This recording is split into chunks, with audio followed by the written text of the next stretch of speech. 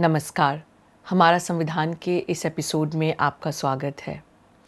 आज जब मैं स्टूडियो की तरफ़ कार चलाकर आ रही थी और सोच रही थी कि आपसे बात करूँगी कि भारत के संविधान में क्या मौलिक अधिकार दिए गए हैं तो उसी वक्त गाड़ी ट्रैफ़िक लाइट पर रुकी और एक छोटा सा बच्चा मेरे पास आया और कहने लग गया कि खाना खाना है, भूख लगी है, जो भी है आपके पास वो दे दें। किस्मत की बात थी कि मेरे पास कुछ कैश नहीं था।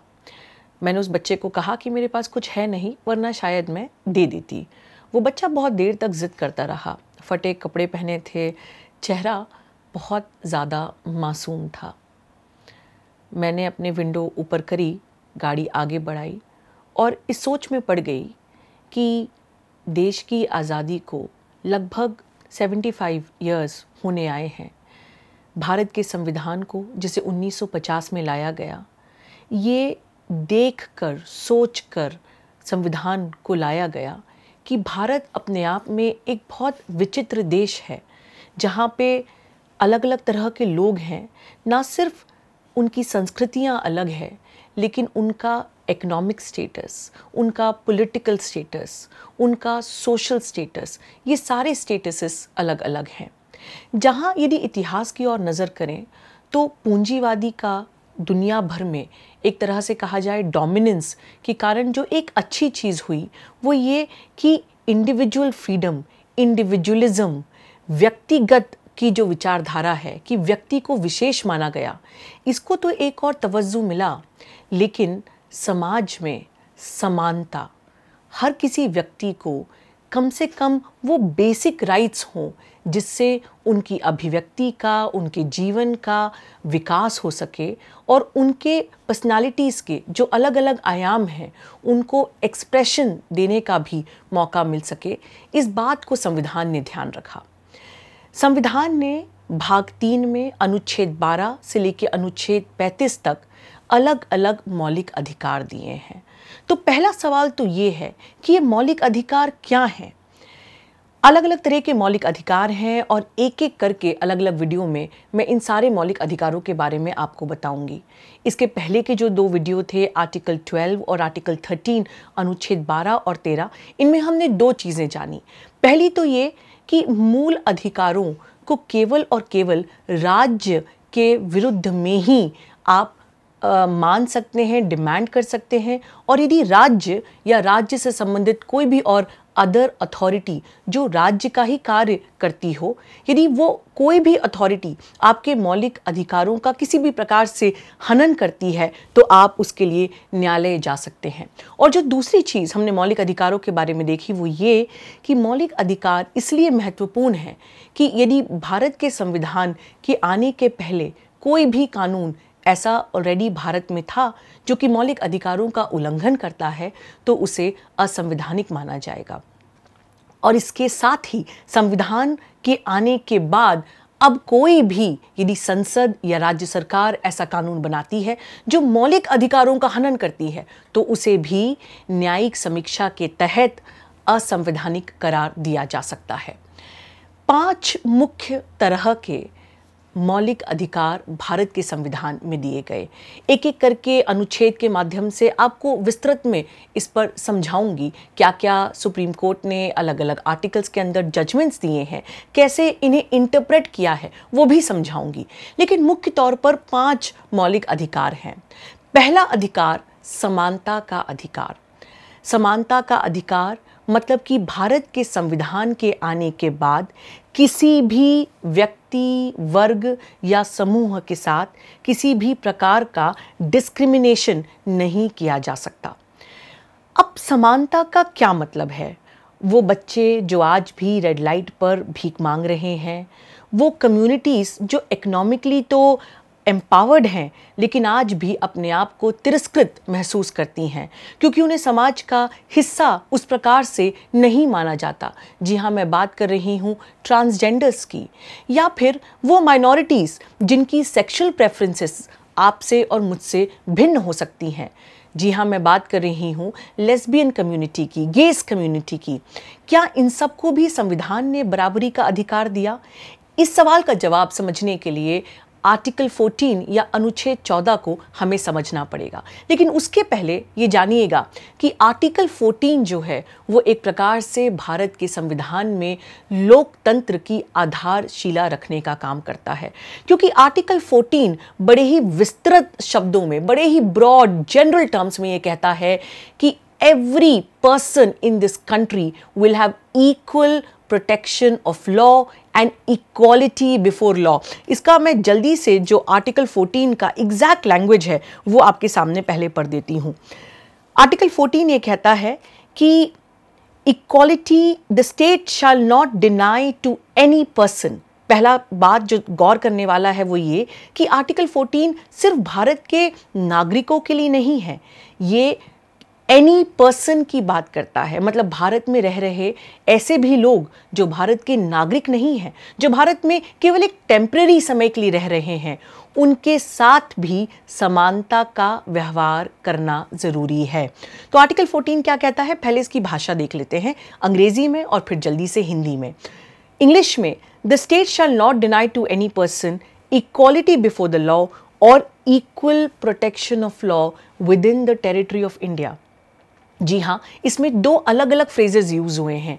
पहला है इक्वालिटी बिफोर द लॉ और दूसरा है इक्वल प्रोटेक्शन ऑफ़ लॉ यदि आपने कानून की पढ़ाई नहीं करी है तो आपको लगेगा, ये एक जैसे ही तो शब्द साउंड कर रहे हैं, इनमें अंतर क्या है, उस पर भी मैं आऊँगी। लेकिन समानता का अधिकार, इसको हिंदी में इस प्रकार से समझिएगा कि राज्य जो है, वो भारत की क्षेत्र सीमा में किसी भी प्रकार से कानून की समानता का उल्लंघन नहीं कर सकता और कानून हर व्यक्ति वर्ग को बराबर से या समानता का दर्जा देगा। ये हुआ पहला मौलिक अधिकार। जो दूसरा मौलिक अधिकार भारत के संविधान में है, वो है जी हाँ एक्सप्रेशन का या अभिव्यक्ति का, जिसे आर्टिकल 19 में जो है, वो दिया गया है। और तीसरा अधिकार ये कि भारत में जो अल्पसंख्यक हैं, जो माइनॉरिटीज़ हैं उनका ये अधिकार है कि वो कोई शैक्षणिक संस्थान यदि चलाना चाहें तो चला सकते हैं। यदि वो गवर्नमेंट एडेड है तो भी ठीक है। यदि अनएडेड इंस्टीट्यूशंस भी चलाना चाहते हैं तो वो बिल्कुल चला सकते हैं। और सारे अल्पसंख्यक भारत में उनको ये स्पेशल अधिकार है कि वो अपनी संस्कृति को, अपने धर्म को उसकी प्रैक्टिस कर सके। लेकिन ये जो अधिकार है कि आप अपनी संस्कृति, आप अपनी भाषा, आप अपनी धर्म जैसे चाहें, उसको वैसे प्रैक्टिस करें, जब तक कि किसी और व्यक्ति के मौलिक अधिकारों का आप हनन ना करें, ये सिर्फ़ अल्पसंख्यकों का अधिकार नहीं, लेकिन जो कोई भी मेजॉरिटी में है उसका भी अधिकार है। तो कई बार प्रथम दृष्टा ये लगता है कि ये अलग अलग प्रकार के जो अधिकार हैं, समानता का अधिकार, आप आपको अपना धर्म प्रैक्टिस करने का अधिकार, आपको अपनी अभिव्यक्ति का अधिकार, आपको किसी भी शैक्षणिक संस्थान को चलाने का अधिकार, ये जो अलग अलग तरह के अधिकार हैं, क्या ये आपस में भी कई बार विरोधाभासी हो सकते हैं? जैसे कि संजय लीला भंसाली की जब फ़ेमस मूवी आई पद्मावत तो एक वर्ग को ये लगा कि ये उनके अधिकारों का उल्लंघन है, क्योंकि उनकी धर्म को किसी प्रकार से ठेस लगती है। उनकी जो मान्यताएँ हैं, मान, मान्यताएँ हैं, उनके कल्चर को लेकर उस पर कहीं ना कहीं ठेस लगती है। और एक प्रकार से जो फ़िल्म बनाने वाले थे, उनका ये कहना था कि ये उनकी अभिव्यक्ति का अधिकार है। तो क्या होता है जब दो मौलिक अधिकार जिन्हें संविधान बराबर से सुरक्षित करता है, भारत में रह रहे लोगों के लिए, जब इनका आपस में टकराव होता है, तब सुप्रीम कोर्ट, हमारे न्यायालय और संविधान इसको कैसे देखते हैं? इस पर भी हम आएँगे। लेकिन आज इस छोटे से वीडियो को ख़त्म करने के पहले मैं एक छोटी सी कहानी आपको समझाना चाहती हूँ, बताना चाहती हूँ। मेरे पीछे आप देखते हैं कि लेडी ऑफ़ जस्टिस का एक चित्र बना हुआ है। जी हाँ लेडी ऑफ़ जस्टिस या जिसे हम कहते हैं जस्टिशिया उनका नाम है। ये एक प्रकार से न्याय की देवी मानी जाती हैं। पहली बार ये सिंबल लेडी ऑफ़ जस्टिस का देखा गया इतिहासकारों के अनुसार रोम में, रोम के पहले ये सबसे पहले जो आया था वो था मिस्र में और मिस्र में आने के बाद, देखने के बाद थोड़ा सा स्वरूप अलग था मिस्र में, लेकिन उसके बाद ये उत्तर की तरफ़ गया, पूर्वी यूरोप में और फिर आया रोम में। लेकिन रोम से पॉपुलर हुई लेडी ऑफ़ जस्टिस और लेडी ऑफ़ जस्टिस का जो एक सिंबल है, वो अलग अलग थोड़ा सा तो अलग अलग कंट्रीज़ में हल्का हल्का सिंबलिज्म में डिफरेंस आता है, लेकिन तीन चीज़ें कॉमन होती हैं। पहला, कि लेडी ऑफ़ जस्टिस के हाथ में एक तलवार है, अ सॉड। दूसरा, उनके दूसरे हाथ में एक तराजू है, एक जिसे हम कहते हैं स्केल्स ऑफ़ जस्टिस और तीसरा, कि लेडी ऑफ़ जस्टिस की आँखों पर पट्टी बंधी हुई है। कई बार ये लोग कहते हैं कि क्या न्याय व्यवस्था, क्या न्याय की देवी अंधी है? इस बात को समझना ज़रूरी है क्योंकि ये मौलिक अधिकारों के लिए बहुत ज़्यादा महत्वपूर्ण है। जो लेडी ऑफ़ जस्टिस की तलवार है, वो ये बताती है कि यदि आप किसी कानून का उल्लंघन करेंगे तो राज्य के पास ये शक्तियाँ हैं कि आपको दंडित किया जा सके। ये ये भी दर्शाता है कि कानून की तलवार के ऊपर या न्याय की तलवार के ऊपर कोई भी व्यक्ति नहीं है चाहे वो कितना ही समाज में अपने आप को पावरफुल क्यों ना माने, सभी लोग जो हैं, वो उस तलवार के नीचे हैं। दूसरी चीज़ स्केल्स ऑफ़ जस्टिस या तराजू, ये दिखाता है कि जब कभी भी कोई भी न्यायालय दो पक्षों को सुन रहा है तो अपना तर्क लगाएगा, दोनों पक्षों को बराबर से तवज्जो देगा और उन दोनों पक्षों पे जल्दबाजी में कोई डिसीज़न नहीं लेगा, सोच समझकर दोनों पक्षों को सुनकर बिना किसी जल्दबाजी के और समानता का अधिकार देकर उनकी बात को सुनेगा और फिर अपना कोई जजमेंट सुनाएगा। और तीसरी, सबसे इंटरेस्टिंग बात लेडी ऑफ़ जस्टिस के सिंबोलिज्म में, जी हाँ उनकी आँख पर बंधी पट्टी। जब पहली बार रोम में लेडी ऑफ़ जस्टिस आई तो उनकी आँखों पे पट्टी नहीं थी। ये जो blindfold lady of justice की आँखों पे आया, ये बाद में, कई बाद में जो है वो देखा गया। लेकिन इसका सिंबोलिज्म क्या है? इसका सिंबोलिज्म है कि न्याय की देवी के सामने कोई भी व्यक्ति किसी लिंग का, किसी धर्म का, चाहे वो मेजॉरिटी ग्रुप का हो या अल्पसंख्यक ग्रुप का हो माइनॉरिटी ग्रुप का हो, कहीं का भी रहने वाला हो, ये सब लोगों को न्याय की देवी बराबर से देखेंगी। उनमें पक्षपात नहीं करेंगी। तो न्याय के सामने सब बराबर हैं। इसी बात को संविधान ने कहा अनुच्छेद 14 या आर्टिकल 14 में।